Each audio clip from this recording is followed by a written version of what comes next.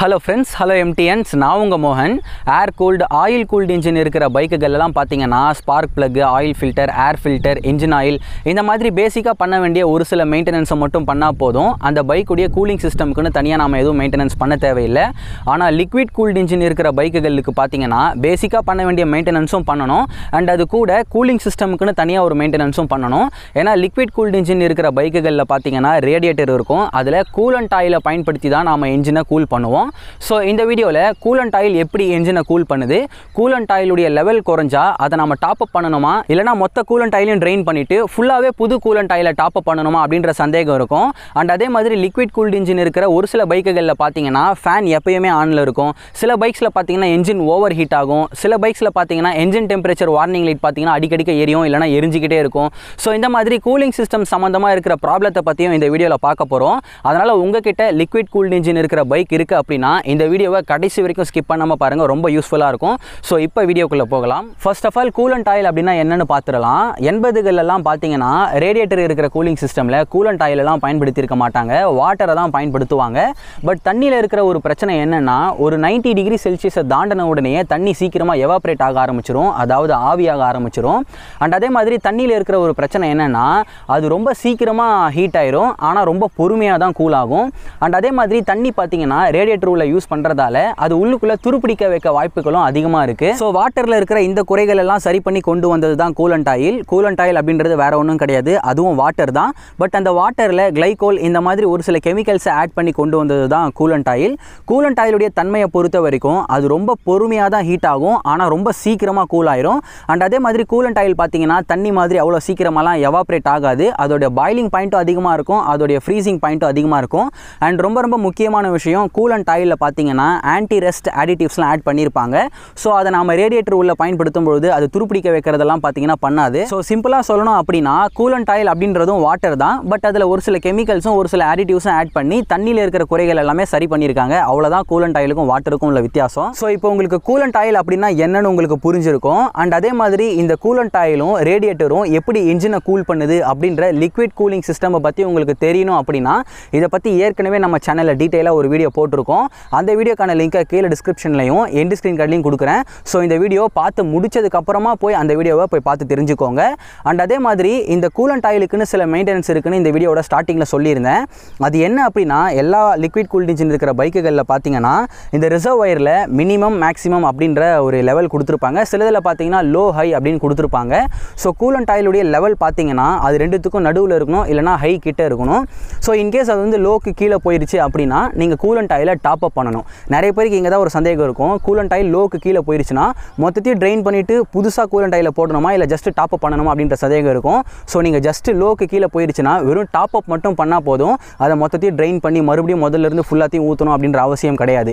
அப்போ எப்போ தான் கூலண்ட் ஆயிலை ஃபுல்லாத்தையும் ட்ரெயின் பண்ணிவிட்டு புதுசாக போடணும் அப்படின்னா every two years once so ரெண்டு வருஷத்துக்கு ஒரு முறை கட்டாயமாக மொத்த கூலண்ட் ஆயிலையும் ட்ரெயின் பண்ணிவிட்டு நீங்கள் மறுபடியும் புது கூலண்ட் ஆயிலை போடணும். இதுதான் கூலண்ட் ஆயிலோடைய மெயின்டெனன்ஸ் சரி இப்போ லிக்விட் கூலிங் சிஸ்டமில் வர காமனான ப்ராப்ளம்ஸை பற்றி பார்ப்போம். அதில் முதல் ப்ராப்ளம் என்னென்னா அவங்க பைக்கில் அடிக்கடிக்க கூலிங் ஃபேன் ஆன் ஆயிரும். இல்லைனா ஆன் ஆச்சுன்னா ரொம்ப நேரத்துக்கு ஆனில் இருக்கும்.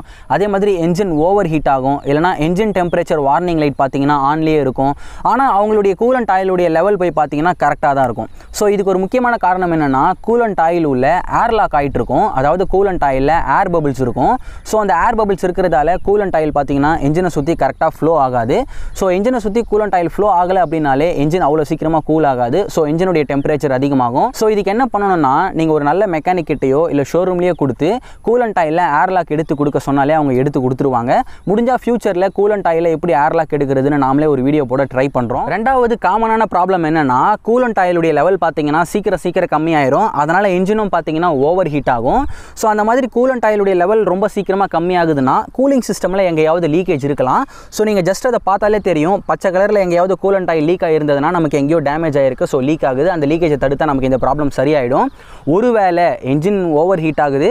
பட் கூலண்ட் ஆயிலுடைய லெவல் பார்த்து செக் பண்ணிங்கன்னா கம்மியாக தான் இருக்குது ஆனால் எங்கேயுமே பார்த்தீங்கன்னா லீக்கேஜ் இல்லை அப்படின்னா கூலண்ட் ஆயில் இன்ஜினுக்குள்ளே லீக் ஆகி இன்ஜின் ஆயிலோடைய மிக்ஸ் ஆகுதுன்னு அர்த்தம். இது எதனால் நடக்கும் அப்படின்னா கிட்ட விட கூலண்ட் ஆயிலை என்ஜினை சுற்றி பரவ வைக்கிறதுக்காக ஒரு வாட்டர் பம்பை கொடுத்துருப்பாங்க. ஸோ என்ஜின் ரன் ஆகும்பொழுது இந்த வாட்டர் பம்பும் ரன் ஆகும். சில பைக்ஸில் கேம் ஷாஃப்டை யூஸ் பண்ணி தான் இந்த வாட்டர் பம்பை ரொட்டேட் பண்ணுவாங்க. ஸோ இந்த வாட்டர் பம்புக்கும் என்ஜினுக்கும் நடுவில் பார்த்தீங்கன்னா ஒரு ஆயில் சீல் கொடுத்துருப்பாங்க. ஸோ இது நாளாக நாளாக இந்த ஆயில் சீல் பார்த்தீங்கன்னா டேமேஜ் ஆகும். அப்படி இல்லை நீங்கள் கூலண்ட் ஆயிலை ரொம்ப அதிகமாக ஃபீல் பண்ணிட்டீங்கன்னா அதிக ப்ரெஷர் காரணமாக இந்த ஆயில் சீல் டேமேஜ் ஆக வாய்ப்பு இருக்குது ஸோ உங்கள் பைக்கில் வந்து கூலண்ட் ஆயில் அடிக்கடிக்க கம்மியாகுது. என்ஜினும் அடிக்கடிக்க ஹீட் ஆகுது. ஆனால் எங்கேயுமே லீக்கேஜ் இல்லை அப்படின்னா ஜஸ்ட் நீங்கள் என்ஜின் ஆயிலுடைய ஆயில் டிப்ஸ்டிக்கை எடுத்து என்ஜின் ஆயிலுடைய கன்சிஸ்டன்சி பாருங்கள் என்ஜின் ஆயில் ஒரு மாதிரி பச்சை கலர் கலந்த மாதிரி இன்ஜின் ஆயிலுடைய தன்மையை வேறு மாதிரி இருக்குது அப்படின்னா கூலண்ட் ஆயில் இது வழியாக என்ஜினுக்குள்ளே போய் மிக்ஸ் ஆகுது அப்படின்னு அர்த்தம். ஸோ நீங்கள் இங்கே இருக்கிற ஆயில்ஸில் ஜஸ்ட்டு கலட்டி அதை மாற்றினாலே போதும். உங்களுக்கு வந்து இந்த ப்ராப்ளத்தை சரி பண்ணிடலாம் ஸோ உங்கள் பைக்கில் கூலண்ட் ஆயிலுடைய லெவல் அடிக்கடிக்க கம்மியாகுது அப்படின்னா எங்கேயாவது லீக்கேஜ் இருக்கான்னு பாருங்கள் லீக்கேஜ் இல்லை அப்படின்னா வாட்டர் பம்பில் இருக்கிற ஆயில் கலட்டி சேஞ்ச் பண்ணி பாருங்கள் உங்களுக்கு இந்த ப்ராப்ளம் சால்வ் ஆயிரும். கடைசி ஒரு காமனான மிஸ்டேக் என்னன்னா நீங்கள் ரைடு கிளம்புறதுக்கு முன்னாடி கட்டாயமாக கூலண்ட் லெவலை செக் பண்ணிட்டு தான் போகணும். ஸோ கம்மியாக இருந்தால் டாப் அப் பண்ணிட்டு தான் நீங்கள் ரைடே ஸ்டார்ட் பண்ணணும். ஒருவேளை ரைடு போகிறதுக்கு முன்னாடி நீங்கள் கூலண்ட் லெவலை செக் பண்ணலை. ஸோ ரைடோட பாதியில் நீங்கள் பார்க்குறீங்க கூலண்ட் லெவல் கம்மியாக இருக்குது அப்படின்னா அந்த மாதிரி சமயத்தில் நீங்கள் தற்செயலாக டிஸ்டில்டு வாட்டர் அப்படி இல்லைனா சுத்தமான நம்ம க்ளீனான நார்மல் வாட்டரை பயன்படுத்தலாம். பட் சால்ட் வாட்டரை மட்டும் பயன்படுத்தக்கூடாது. அது துருப்பிடிக்க வச்சிரும். ஸோ நீங்கள் வாட்டரை யூஸ் பண்ணி கூலண்ட் லெவலில் டாப் அப் பண்ண பிறகு அகைன் நீங்கள் ஒரு நல்ல ஏரியாவுக்கு போனோடனே கூலண்ட் லெவல் கூலண்ட் ஆயில் கிடைக்குது அப்படின்னா மொத்த கூலண்ட் ஆயிலையும் ட்ரைன் பண்ணிவிட்டு நீங்கள் ஃப்ரெஷ்ஷாக கூலண்ட் ஆயிலை டாப் அப் பண்ணிக்கோங்க. ஸோ தற்செயலாக நீங்கள் டிஸ்டில்டு வாட்டர் அப்படி இல்லைனா நார்மல் வாட்டரை கூட கூலண்ட் ஆயிலாக பயன்படுத்தலாம். ஓகே இந்த வீடியோ மூலயமா கூலண்ட் ஆயில் பற்றின எல்லா தகவலும் உங்களுக்கு கிடைச்சிருக்கும்னு நினைக்கிறேன். கூலண்ட் ஆயில் சம்மந்தமாக ஏதாவது சந்தேகம் இருக்குது இல்லை வேறு ஏதோ சம்மந்தம் இருக்குது அப்படின்னா மறக்காமல் கீழே கமெண்ட்ஸில் கேளுங்க. அப்படி இன்ஸ்டாகிராமில் காண்டாக்ட் பண்ணுங்கள் ஓகே இந்த வீடியோ பிடிச்சிருந்தா like share comment and subscribe பண்ணி நம்ம எம்டிஎன்ஸ் ஃபேமிலியில் ஜாயின் பண்ணிக்கோங்க. கர்மாவை எதிர்பார்க்காம உதவி செய்யுங்க. மற்ற எந்த விஷயத்தை சரிதான் இருந்தாலும் கர்மாவை எதிர்பார்த்து செய்யுங்க. அடுத்து இன்னொரு யூஸ்ஃபுல்லான வீடியோஸில் உங்களை வந்து பார்க்குறேன். லவ் யூ எம்டிஎன்ஸ் நன்றி.